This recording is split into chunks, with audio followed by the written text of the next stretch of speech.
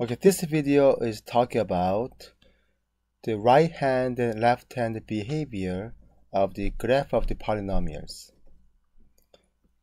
Up to now, we only have talked about mostly linear function and quadratic function.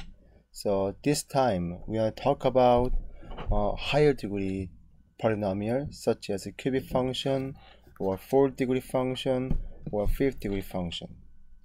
So let me show a few example of um, higher degree even polynomial graph and then we talk about what happened. Okay, so let's look at fx equal to maybe 2x to the fourth power plus 3x to the cubic minus uh, 5x plus maybe 2 like that. So do you see what happened here? So as you see, we only think about the ending behavior. So left hand side and the right hand side here. I'm gonna make a little bit wider so you can see better. So as you see, it's going up on the left hand side, was going up on the right hand side as well. Now let me make another one. So gx equal to maybe x to the sixth power and plus 5x cubic power and minus 7x plus 6 like that. Okay? What happened? So so red function also the left hand side going up again and right hand also also going up again here so let's make another one. Maybe hx equal to 3x to the 8th power minus 4x to the second power and plus 1 like that. Okay, so they're also going up and going up again here. So let me just turn on one graph each so we can see a little better. So the last one hx as you see 3x 8 minus 4x squared plus 1 the left hand going up and right hand going up. Now gx function also left hand going up and right hand going up here. Now fx also left hand going up and right hand going up as well. So based on this fact, or our observation, we can conclude that if given fx equal to axm plus bxn plus something like that, if m is even power and then a is positive, then we can conjecture the left hand side and right hand side ending behavior will be going up and also going up as well. What about A is negative? To understand better, I just make every leading term is a negative sign. Other terms are not even matter, only leading terms matter. So I'm gonna switch this minus what happened. Before, it was going up, going up. So, which means left hand side going up and the right hand side going up. Now it is going down and going down here, right?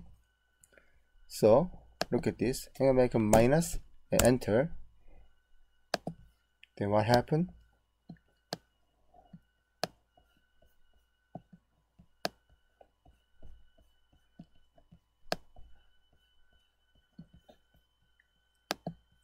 This also going down and going down here right? Then hx also just make minus sign in front. Then what happened? Going down and going down here. So based on this fact we can say that if a is negative then the ending behavior will be going down and going down. Of course, as you see all this graph, all this graph, the middle term can be various. It can be somehow maybe parabola shape, but sometimes this kind of irregular shape or kind of a fluctuate like that. But no matter what, when leading term is positive, then both are going up and up, and negative, then going down and down. Then what about A is, M is odd number?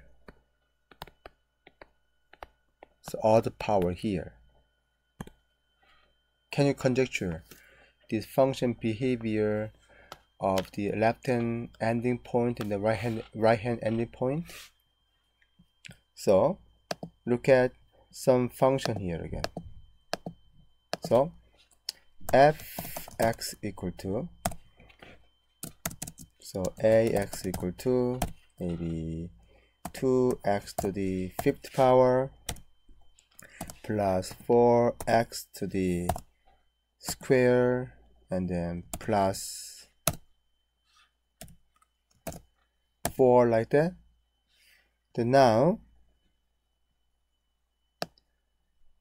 the left hand side going down the right hand side going up here right so down and up. Another one.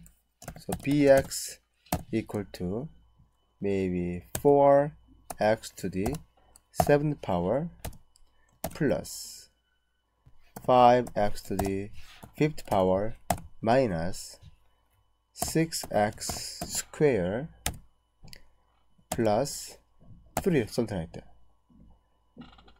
So before it was only 5th power now is 7th power but still going down and going up right? So based on this observation we can say that if m is odd but a is bigger than 0 then left hand side going down and right hand side going up basically. Then what about a is negative power? A is negative so to make easier just make this two function negative sign of the leading leading term here. So minus. And then minus. So what do you see? Before we are changing to negative.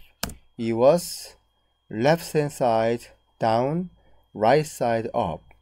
Now after change leading term is negative sign then become left hand side moving up the right hand side moving down. Same thing here p function. If I just switch the positive power again then become left hand side down right hand side up. But if I switch this minus sign then this become left hand side going up the right hand side moving down here. Therefore we can conclude that if a is negative then left hand side moving up the right hand side moving down like this. Okay